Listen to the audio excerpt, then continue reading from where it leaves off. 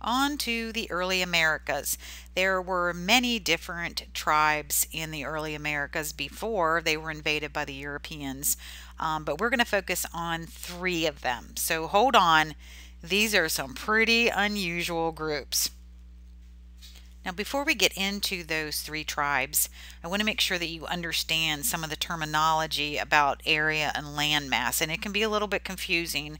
Some people don't know this, but North America is is actually everything that is not South America. So if you look on this map where you see Colombia and Venezuela down there at the very bottom right hand corner, that that's South America. Everything north of that, Panama, Costa Rica, all the islands in the Caribbean, Greenland, Ru um, Russia, the Arctic Circle, all of that is considered North America. So, and, and again, it does include Greenland, which is the largest island in the world. So, North America together, when you put all that together, is the third largest continent on the planet. It's way more than most people think. They think North America is basically the United States and Canada, but it's not. It actually starts down there uh, um, after or by Colombia, not including a Colombia. All right, so what is Central America? Central America is the the northernmost part, most borderline of Mexico. See that gray area? And it goes all the way down until you hit Colombia. So all of that is Central America.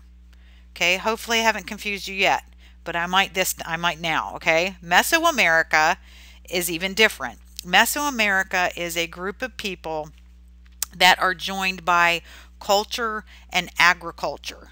So it, it it's really hard to draw the line here, but it's about the middle part of Mexico to the most northern part of Costa Rica. Those people tend to have a very common culture and they definitely have a very common agriculture. So even though there's not an actual border, like a country border that determines Mesoamerica, it's kind of in the middle of Central America. So hopefully you're not totally confused yet. The easiest one of all is South America. Easy peasy. It is Colombia, Venezuela, and everything south of that. So the entire continent, you know, Chile, all those places, that is South America. Okay, hopefully your mind is not blown and, and you stayed along with me. If not, you can listen to this section again. I know it's just riveting and you can't wait to hear it again. So let's start with the Mayans. The Mayans live in Mesoamerica, also known as Middle America or Central America. Um, they are located in the Yucatan Peninsula.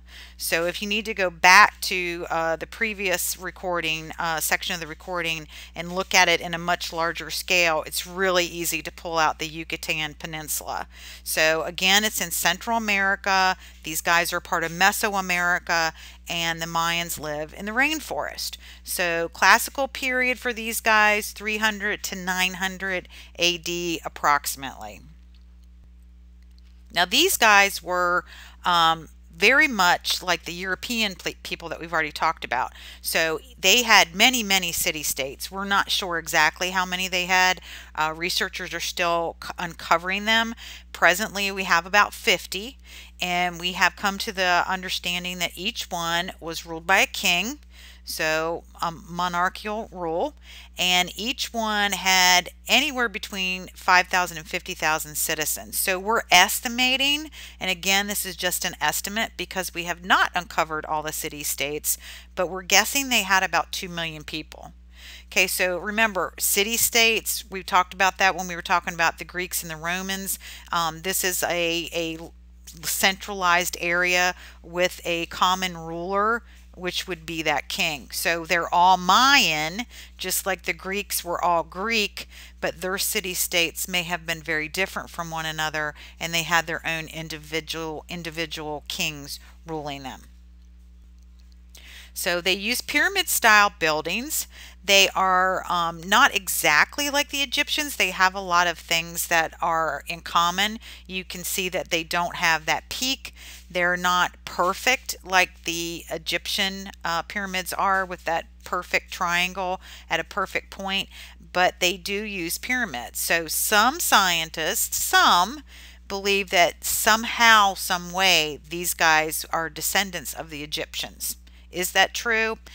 Nothing I'm going to tell you in this unit is absolutely positively true. It's all educated guesses. So you can make up that you think they're aliens. I have students do that all the time. Aliens did it. Maybe they did. Now, their most famous city is Chichen Itza. And this is uh, actually a picture that a friend of mine, this is one of the places on the planet I haven't been yet and I really want to go. Um, but a friend of mine went and she took some pictures for me. So you can see it does look uh, Egyptian-ish. There are lots of mysteries about the Mayan people, but this one I think baffles scientists more than any of them, more than anything. The 1,000 columns. So at the at the foot of one of the larger pyramids, there are exactly 1,000 columns. They're evenly spaced from each other, and you can see from the picture it's not like that area could have been used for entertainment because the columns kind of get in the way. So it wasn't like a coliseum type event where people came and gathered, but we can't figure out what it was. Was it some type of sporting event? Um, who knows? Maybe it was like a grand hide and seek thing where you hid behind the columns. Who knows?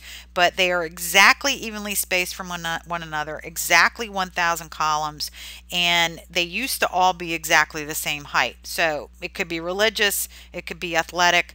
We have no idea. Now, if you look at their stuff up close, again, it does look kind of Egyptianish, the fact that they have a pyramid, but there also seems to be some Asian and even Indian st style of artwork all kind of mixed in together. So who knows, maybe they are aliens, who knows, but it is definitely a mixture of different cultures from across the world, really. Now, they were very good builders, and you can see how tightly fit the bricks are with one another. I mean, these these buildings are basically indestructible. Excellent architects. And again, here is a more up close of that the different type of artwork that they had. Um, some of it's missing, I, I, know, so it's kind of hard to tell what it is. But we think this was actually one of their gods um, that they celebrated. And he's part man, part animal. You can see his feet at the bottom. He has that sideways pose like Egyptians tended to do with human beings, but it still has kind of that Indian look to it, maybe an Asian, uh, Chinese, Japanese kind of look to it. It just seems to be a mixture of a little bit of everything. So again, just another mystery. And here is uh, one of the towers where they are one of the pyramids that they used for uh, religious purposes. So you would go to, well, we think you could go to the top and um, do some practices that I'm going to talk to you about in a minute, where the king would do certain rituals in front of the people um, to show his loyalty to the gods. So we think that this one was actually a pretty significant structure used by the king. And again, you have more of those figures, dragon looking type thing. Doesn't that look like something that you would find in the Chinese New Year parade kind of stuff? Yeah. So inside this beautiful, beautiful pyramid, you have this natural spring. Yes, you can swim in it. Um, this is one of the things I'm dying to go do. So this is actually one of the pictures that my friend took. All these are again. So when she was there, they you're invited to go swim in the swimming hole. Uh, no one reached the bottom while she was there, so I don't know if we know how deep it is, but I don't I don't know. I think I'd be a little bit afraid of that. And here's a better shot of it. So she's up above looking down in the hole. Um, I don't think you can jump from the hole because it looks pretty tall, but she's above taking pictures of all the people swimming down below. Isn't that beautiful? Just gorgeous. Now, their economy is based on agriculture and trade. So their plant beds are created on these hillside terraces that they carved out to make flat surfaces for their garden. And you can see like it's it's all these little platforms so they don't have to worry about the rain coming in and completely washing away their crops. That's not going to happen even though they're living in the rainforest because it's terraced. And so that way the crops will stay stable. You're not going to have mudslides and things like that. These guys could grow everything they needed. They really did not need to mingle with other tribes in the area because they grew everything basically that they needed. Now, one of the things that we can thank them for is chocolate. Uh, we don't think they actually had currency. We think they used cocoa beans as currency when they did want desire to trade with somebody else. And of course, cocoa beans is chocolate, but we think that chocolate was actually money. And that we're talking the nasty chocolate back then, you know, no sugar added to it, but I don't know what they made with it, but they were willing to use it as money and people were willing to take it as money. So chocolate's been around for a really long time. Now let's learn a few more things about these guys that sets them apart from the other tribes that were in North and South America at this time. So the, the Mayans are polytheistic. You've heard that across all of time that we've been talking about for the entire semester. So that's not new. Um, but here's the difference. They believe that there was a God for everything. And I mean everything. Every crop, birth, death, rain, lightning, some gods were good, some gods were evil, according to the Mayan belief. So, to them, they truly believed that every day, as the day changed, a new God sat on the throne to govern them. So, they had to be very, very careful about what they did on certain days. And so they started taking, they started to create a very, very special calendar that told them well, well, well into advance what God would be sitting in that ruling chair on what day because you didn't want some God who was anti child to be on the seat the day that you gave birth. You didn't want some God who was anti love to be on the throne the day that you got married because your marriage would be doomed. And so the Mayans created this very, very intricate calendar that went on way, way, way into the future to try and determine what God was sitting where. They had that many gods. So, I mean, think of everything there is in the world everything there is in the world. If each one had their own God, then that's a whole lot of gods taking turns sitting in the seat of power. So, to make the gods very happy, they practiced something called bloodletting. Now, this is the thing that the king went and did at the top of the um, pyramid that I showed you. So, it was most often royalty that was asked to do this bloodletting most often for the Mayans, it was self bloodletting. Um, we'll get to what they did to other people in a minute, but the king and other royal figures would go to the top of the tower and they would stand on a metal plate and they would take this long, long metal shaft and they would run it through their tongue. They're doing this themselves. They would run it through their tongue all the way down through their genitals and the blood would drip on the plate. And then when the plate was full, the king could remove the rod. He would step away from the plate, and the, the plate filled with blood would be dumped onto the fire to sacrifice it to the gods. Yeah, don't think I want to be a Mayan king. Uh, it wasn't just men, though. Women had to do it as well. Women had two separate rods one that they would run through their own tongue and another that they would run sideways through their genitals. So again, bloodletting if you if you have the most powerful people in the kingdom doing it, wouldn't that appease the gods the most? So makes you look at the leaders of these these people in a whole different light, right? Awfully brave people. Now, they did also sacrifice people and, and we, we know that because of this wall that was found.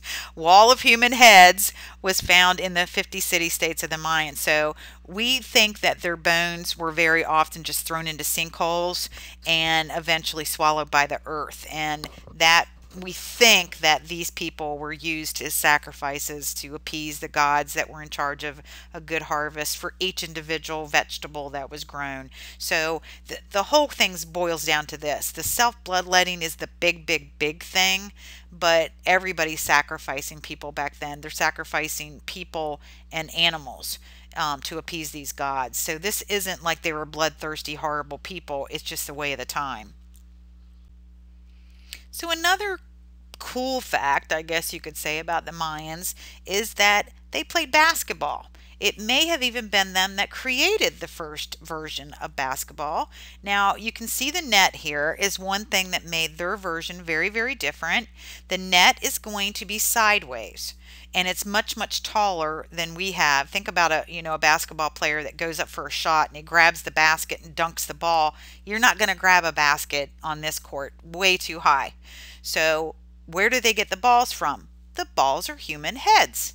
Hey it saves you having to blow it up when the air goes out right? So where do they get the human heads? It's the losers. So two teams play the losing team they all lose their head and there you have a whole bunch of balls for the next game and that is Mayan basketball. Yep, don't think I want to be a Mayan king. Don't think I want to be an athlete in Maya in the Maya world either. So there were experts among all the Mayans in math and astrology, and these guys helped to create two separate calendars, very, very accurate calendars. Now, one of them is used to plant the crops, um, um, because they're basing it on the seasons, that kind of thing. The other one is going to be all about those gods. So when what god is going to be in the seat of the a seat of power when I want to fight an enemy, when I want to crown a new king. So they didn't want to take it any chances that they were doing the wrong thing on the wrong day because the wrong God would be ruling and frown on this event. And so everything was predicted by a specific time well into the future until every god they could think of had been used up. And then guess what? The calendar stopped. It was supposed to start all over again. But modern people got all freaked out and, and said, oh my God, the Mayan calendar, calendar has ended. It ends in 2012, and that must mean the world is going to end in 2012. No, they thought of every god they could think of. They had used them all. And then whoever was alive when time ran out on that calendar was supposed to recreate it. But we were too stupid to know that. We thought the world was going to end, and the Mayan people had predicted it. And there truly were people in 2012 sitting around waiting to die because the Mayans predicted it. Silly, silly, silly, silly. Now, Mayans had their own writing system, and the, the images that they used to write with were called glyphs. They had about 800 of them, and theirs is a mixture. Sometimes it meant a, a glyph meant a whole word. Sometimes it was just a syllable, and they had to put multiple ones together to create a, a whole word. Um, they didn't have a source for paper, so what they wrote on was tree bark, which means that not a lot of it has survived. But what we did have rece- received. What we have dug up out of the ground is um, it's pretty obvious, at least from what we found, that they didn't record their own history. Mostly, they did things about about time and the crops and what God was in power, that kind of stuff. But recording their own history, like who was their very first king, who was their favorite king, um, stories that we all love to hear about Greeks and Romans and our own American culture, they didn't have any of that. So we're not really sure why they didn't feel it was important enough to write it down, but they didn't. So that's why most of what we think we know about the Mayans are all guesses.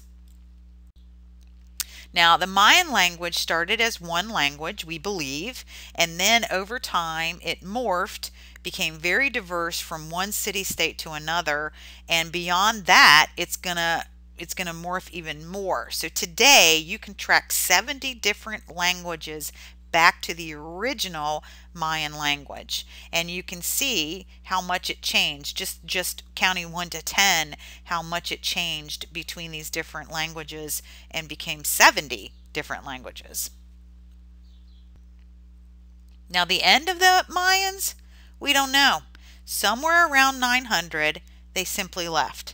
So the Spanish are going to come along around the 1400s and they're going to find a group of people that call themselves the Mayans, but they were not doing well.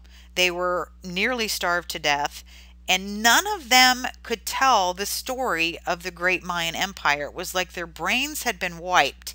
And we don't have the written history, so we have no idea what happened to the Mayans. It's very much like in Zimbabwe.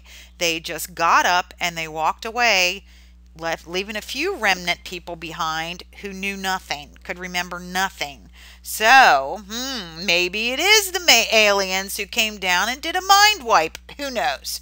But the Mayans again will walk away in the year 900. So let's move on to um, a much, much different group of people known as the Aztecs. And you can see their location here is in modern day Mexico. So notice the Yucatan Peninsula with the Mayans are, is right next door. So these guys are right next door. The Mayans are living in a uh, very lush, beautiful place, lots and lots of rain the people of the Aztec group are living in next door neighbors living in a very dry atmosphere. So gonna gonna they're gonna be very different people because of that. We do still consider them part of Mesoamerica because of the crops and some of the beliefs that they had made them common enough to be part of the same Mesoamerica. So they're going to be around around 1200 to 1521, which means they were not yet in existence when the majority of those Mayans got up and walked away in 900. So again, they're located in a very arid or dry valley in Mexico. And there you go, Aztec Empire. Easy to see. Now, Aztecs are different from Mayans in that they were ruled by an emperor and their emperors lived in these beautiful, beautiful palaces. They had many, many, many wives. They had servants to fan them constantly. Um, they were definitely set apart from the rest of their people. The Mayans, we kind of think their king was more of a uh, people person, um, more visible, more on the same level as as the common citizen not so with the Aztec emperor. The Aztec emperor is very high above anyone else who serves him. You do not say no to the, the Aztec ruler for any any reason. Their most feared is uh, a, an emperor by the name of Montezuma. So Montezuma said that no one was wear, allowed to wear shoes around him, especially not in his castle. So or his palace. So you had to be barefoot so that you would not annoy him or take his attention away from whatever he was doing. You were to be silent. You absolutely were not allowed to make eye contact with him. He's considered that to be disgraceful, disrespectful, and you could be highly punished, even murdered, for even making eye contact with Montezuma. So in in Mexico, this begins a tradition very very different from what American people are used to. And so this is one of those misunderstandings that America has about people from Mexico. They learned very, very, very long ago that it was disrespectful to look another person in the eye. Montezuma did that. He told them that.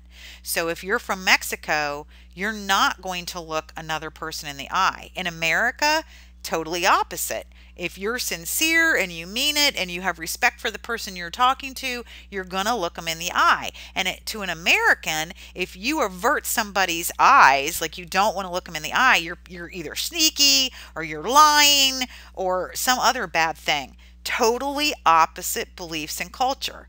Montezuma did that. So if you meet somebody from Mexico and they don't look you in the eye, it is just a difference in culture and nothing else. They're not bad, they're not lying, they're not stealing. It is Montezuma's fault.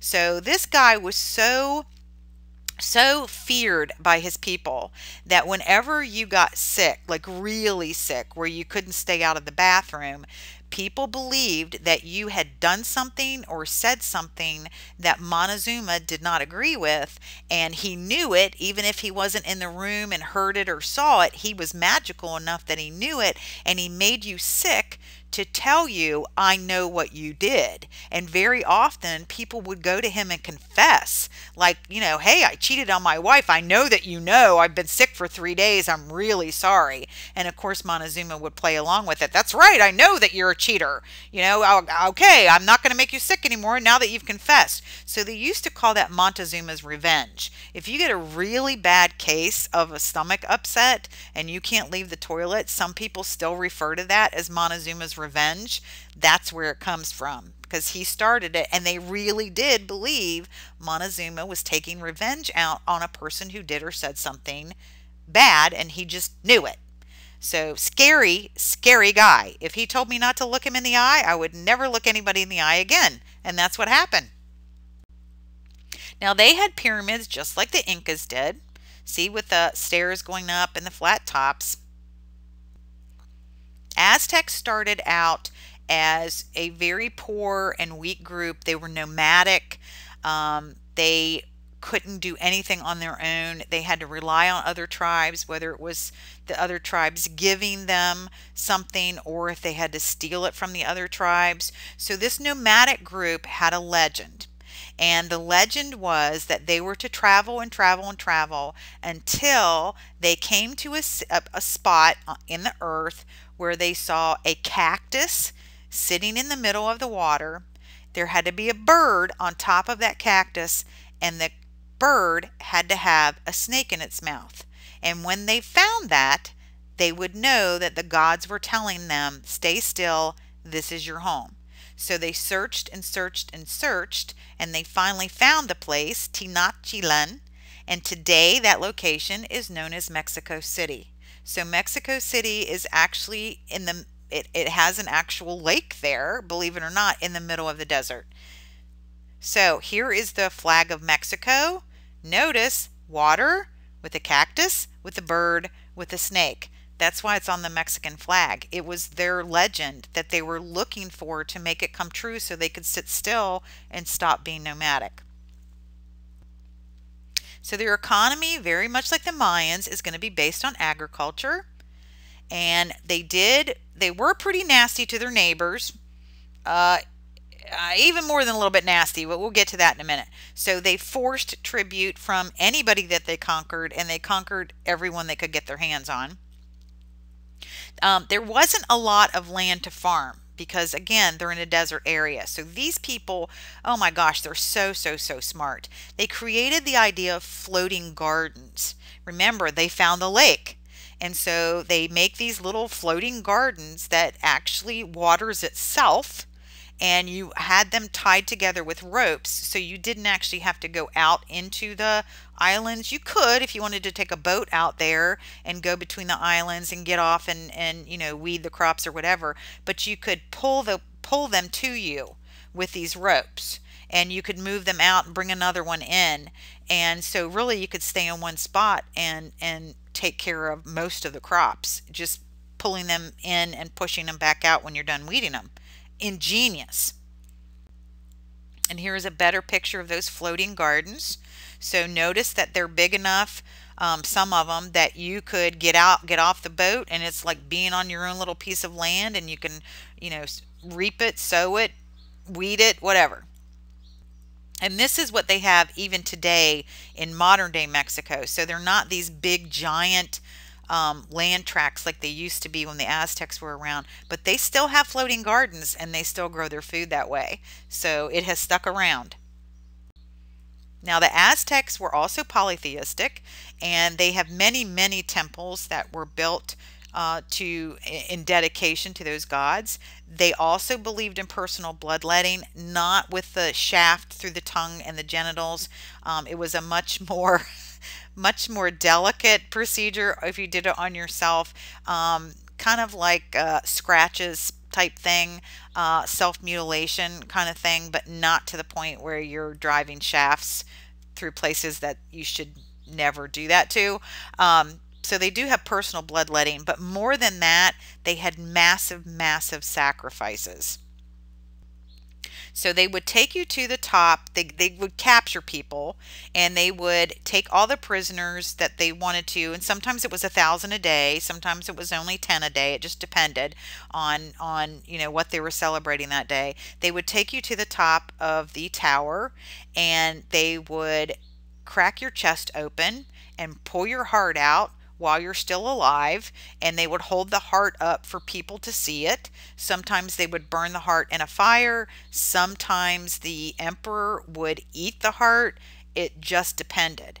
Now, according to Aztec belief, the hearts of brave warriors were the best ones that would appease the gods the most. So they would actually get other tribes around them to to take part in uh, like a, a, battle with them and it wasn't really for them to take land or goods or anything like that. It was the emperor and his men that were judging uh, who the best warriors of the opposing tribe was and they would stand back and say oh look at that bob guy over there. He's a brave warrior. His heart will really appease the gods. So let's get him so they weren't just depleting the population of neighboring tribes, they were depleting the best of the best of those tribes.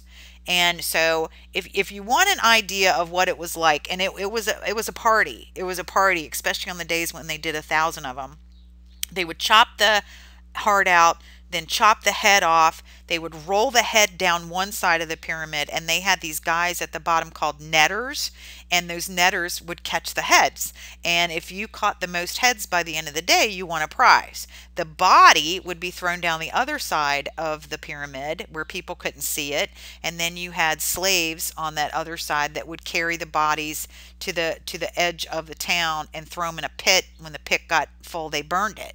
So, very, very, very barbaric. They were not well loved at all by the people around them because, like I said, they're taking away all their best warriors. So, um, there is a video clip that shows it pretty pretty well. If you will click on not click on it you're gonna have to freeze and type it in. Um, you may have seen it. I'm not gonna give away what movie it is but look and look at this clip and it'll give you a really good idea. You'll even see the netters you'll see the partying going on. Um, so you take a look at that and I'm gonna keep talking on the next uh, picture. So Aztecs use the same calendar as the Mayans and they use similar glyphs. Now, did the Aztecs think there was a different god for every single day? No, they did not.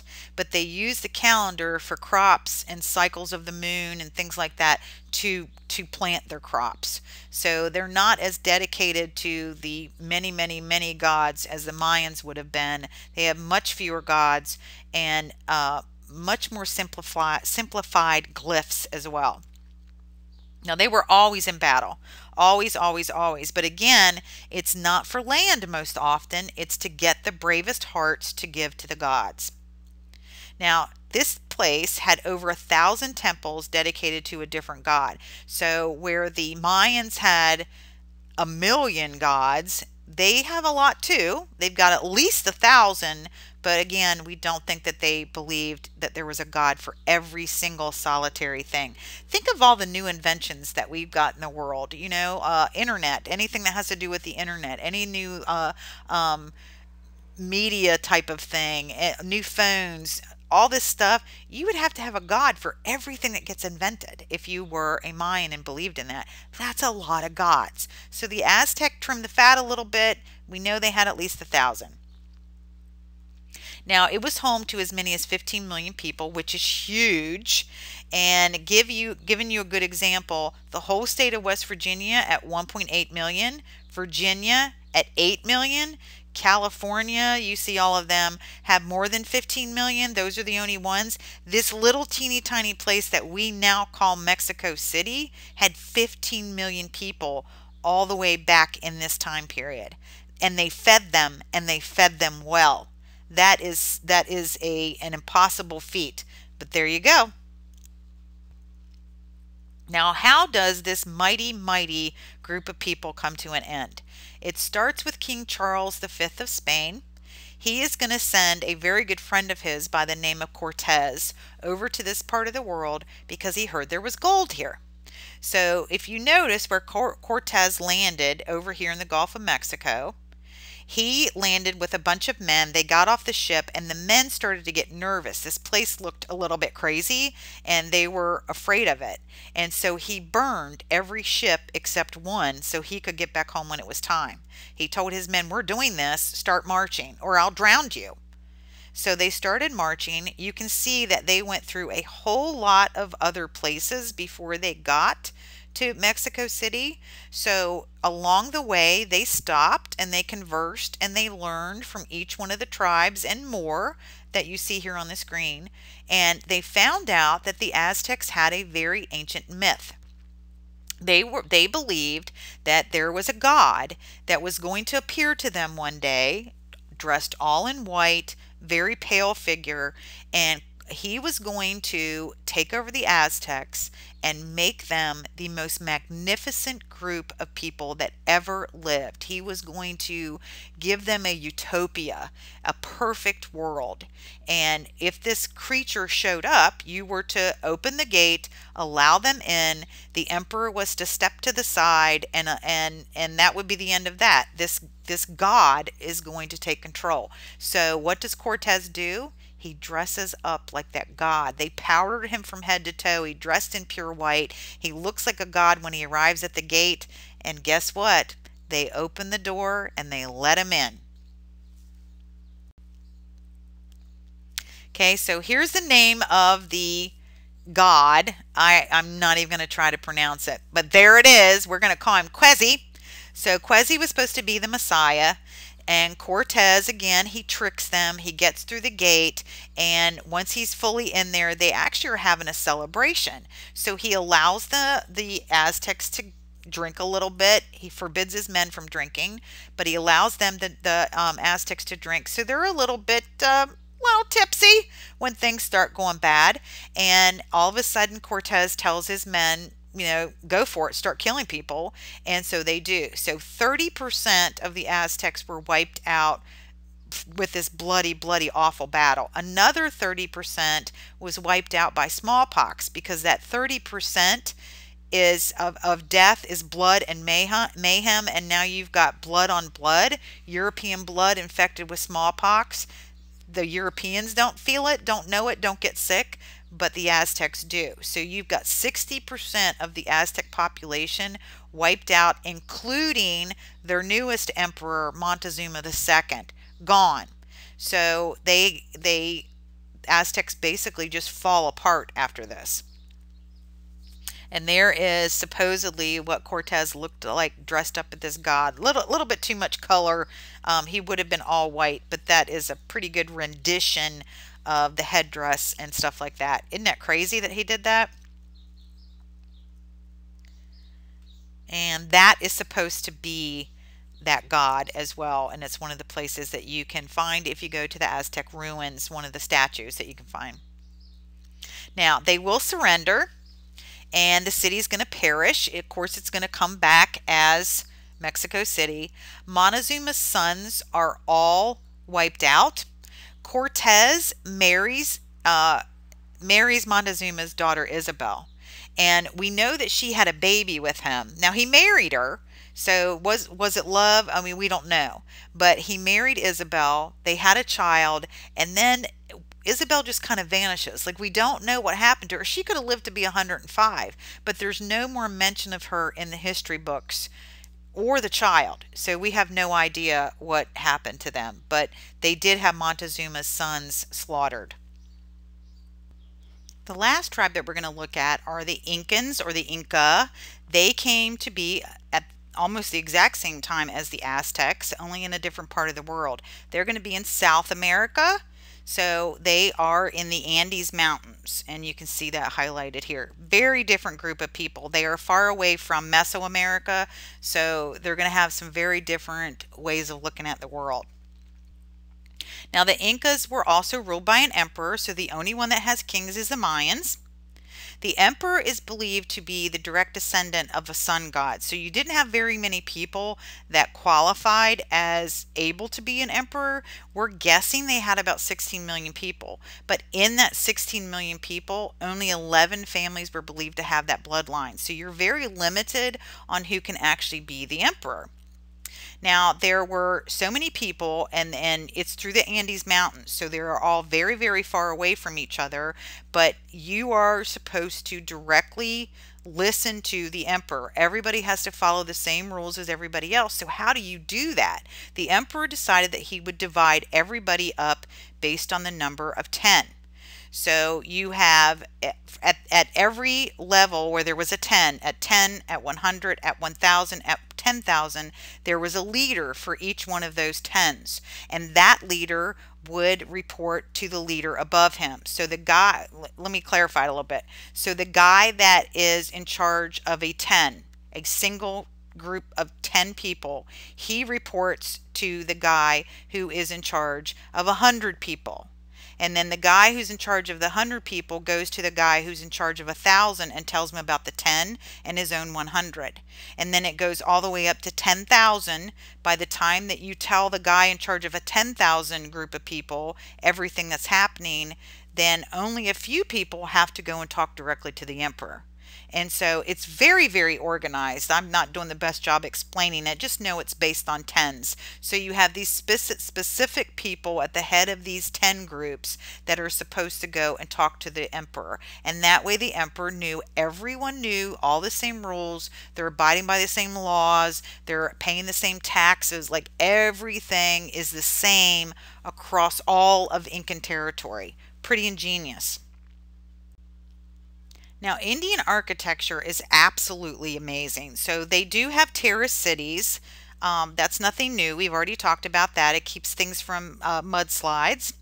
They also knew how to build things that were completely indestructible. So they had these these stones that they fit together and if you look at them, they're chiseled to fit together perfectly. There's no mortar, there's nothing holding them together except the weight of the wall itself and it's it's indestructible. So I have another friend that has gone to the to Incan uh, territory, and he said he's standing atop this big this big mountain where it's super windy. But when you stood on the side of the wall that you know other the side opposite where the wind was blowing you couldn't feel any wind coming through the cracks of those stones at all i mean it's a perfect puzzle fit just incredible they also were fantastic at building roads. So all in all, throughout all of the Andes, there is 14,000 miles of roads that were built by the Incans, still in use today. And notice that because it is really, really steep and rough terrain, you can't just do a road down or up. It had to be a zigzag pattern. So look at this zigzag pattern on the side. That's not a very far distance, but you have to do it that way because if you didn't, you'd fall off the side of a mountain. So it's kind of it's kind of like terracing the road, like you terraced the city or terraced your your farmland. Now, if you can see the um, map here, that's all the roads that they built. So you could get from one end to the other of this empire pretty easily on an Aztec road. All zigzags. Their most famous city is called Machu Picchu, and it really truly is in the middle of nowhere on the top of a mountain. It hasn't been uh, very long ago since we discovered this because the way that it's built, it blends into the environment and it is very, very high up most of the time if a plane was flying over it there would have been cloud cover. So look at look at this machu picchu you can't tell that there's something there. I mean it just happened that a guy was flying by and it happened to be a clear day there were no clouds and he happened to look at it right and was like hey there's something down there. So it is very very very high up so if you go there without preparation, and that friend of mine had, he went to Machu Picchu, and for three days they had to take um, uh, certain kind of pills, and they had to do certain exercises to prepare them to go this high up. And if you don't have that, then when you go to the top of Machu Picchu, you get dizzy, you have hallucinations. So we think that it, it could possibly have been a place that people went to talk to the gods. And so if they had hallucinations while they were there, well, that seems fitting that, you know, the gods were speaking to them. So it could be like a holy place it may also be the place that the emperor went to get away. So it could have been like his private little resort away from the masses. Either one, we don't know. Those are both guesses too, um, but it is a really cool place. Now, their economy is very different than anybody else's. It's built on a welfare system, and that welfare system took care of everyone. If you were sick or old, you couldn't work, you were born with some kind of deficiency, if you need help, you were taken care of. It is a perfect welfare system. Most people were equal and any profits made went to the government and then the government used those profits to feed and house people does that sound socialist or communist to you? Agriculture was huge and it was done by terracing like the Mayans. Everybody grew for each other. Again, we're talking socialism here. It's more socialism than communism because communism is totally classless and in socialism you have that small elite group at the top and this definitely was the emperor was elite so it's more of a socialist system, um, but it, it wasn't looked at in an evil way like we tend to look at socialism. People were taken care of. They were well fed. Um, you farmed together. That's what most people did as for a living. You farmed and then you shared all the food. So there's no proof of any hatred towards the government for this type of, of uh, life. People seemed to uh, be pretty happy as an Incan. And this is just some of the beautiful, beautiful terraced land in the Andes. Now, they believed in many gods, and they also adopted gods of people that they conquered. If they liked one, they're, hey, I like that god. That's really cool. We're going to start using that. So, in order to appease gods, they also had to have some, some type of sacrifice.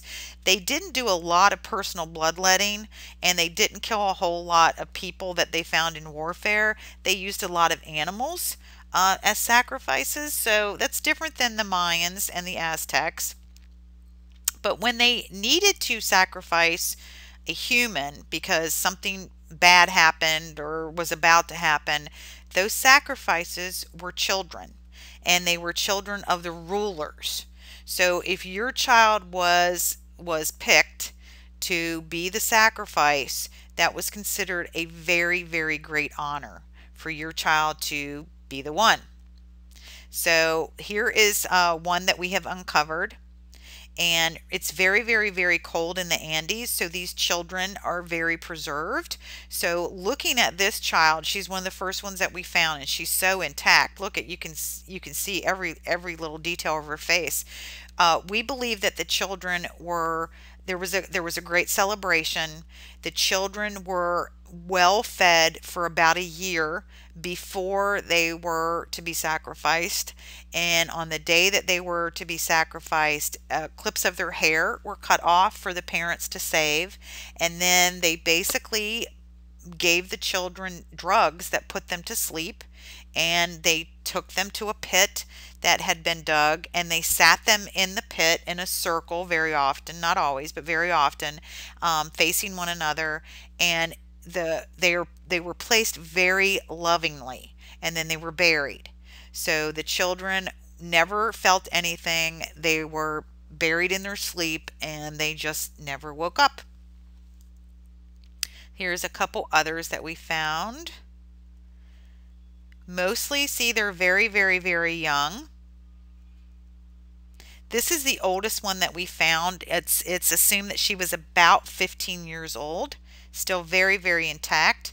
We're not really sure why um, she's so much older than all the others. If there was something special about her that, you know, and maybe something really bad happened that they felt they had to sacrifice somebody that was more special than any of the others. We don't know, but you can see um, you can see every little feature of her face, and she travels the world um, with uh, muse- different museum exhibits that travel. So she has actually been in, in uh, North America before.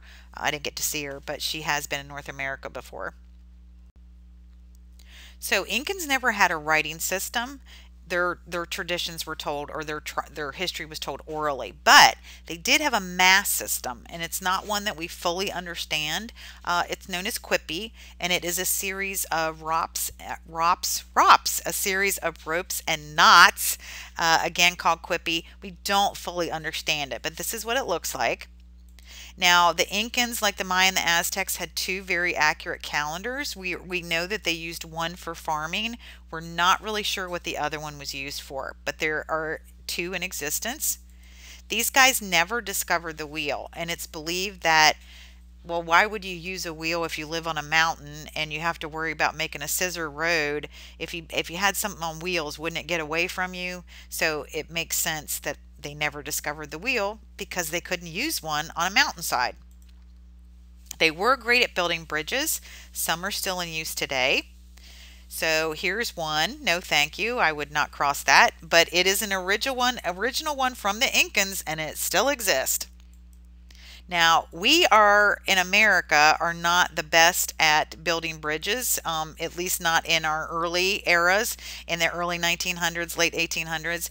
And so in 1877, this rope bridge was discovered, and there was an architect that decided to use that that sketch of the 1877 Incan Bridge to build the George Washington Bridge, which was a suspension bridge, still there today over the Hudson River Valley, and it is very, very, very similar. Prior to this, suspension bridges didn't work in America. Very often they would be caught in a crosswind, they would flip over, drop people and cars right off of them, and so, but once we started using the Incan version of it, it worked. So there you go. They're still, they're so what's going to cause these guys to end? They only end a few years after the Aztecs do. And again, it's the fault of Charles V. So we already know about Cortez. He went in and took the Aztecs over by tricking them. Pizarro was a very good friend of both Cortez and Charles. So they conspired together that, hey, there's another group out there called the Incans that probably have a whole lot of money. Let's go get them. Now, Pizarro wasn't as tricky as Cortez. Pizarro just walked right in and kidnapped the emperor out, out, Atahualpa kidnapped him and said, We want a room full of gold. If you give us a room full of gold, we will give you your emperor back. So they did. They gave him a room full of gold, literally. And what did he do? He killed Atahualpa he actually strangled him to death. He gave him a choice. Do you want to be burned alive or do you want me to strangle you? And he said, strangle me. And so then Pizarro and 150 of his men very easily defeated the Incans, who numbered of at least 80,000 in their military troops. Because think about it. Think about it. They did not have they had no one that knew what was what was supposed to be done except that emperor. Remember, it's run as a socialist system. So if you have no one at the top to tell you what to do, the whole system fell apart. And for them to lose Atahualpa in such a violent and, and swift way, everything just crumbled. And so eventually Pizarro will get his. They, he's at a dinner many, many, many years later. He invites men who he thinks is his best friend. He's an old man by this time. And um, in the middle of dinner, one of the men, who was not really his friend, he'd been lying to him, got up and stabbed Pizarro through the throat. And so he gets his in the end. But too late, too sad, the Incans are already gone. So let's review real quick. We've got the Aztecs who are in Middle America the Mayans on the Yucatan, and the Incas living in the Andes. So all of them are going to end up being murdered by Spanish people. Of course, the Aztecs and the Incans are done purposely by Cortez and Pizarro, both associated with the King of Spain, Charles V.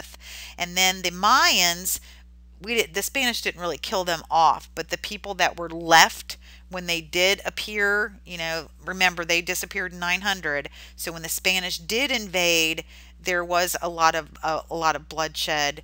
Um, so you can say the Spanish killed some of them, but not all of them. So I know that's confusing. So we're just going to say we're done.